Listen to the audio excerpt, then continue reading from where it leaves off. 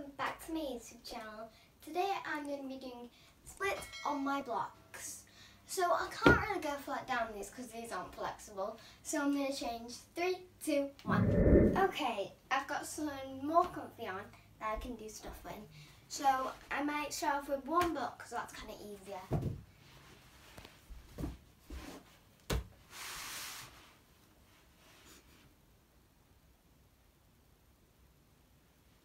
Since I've done that, I'll try with the other block.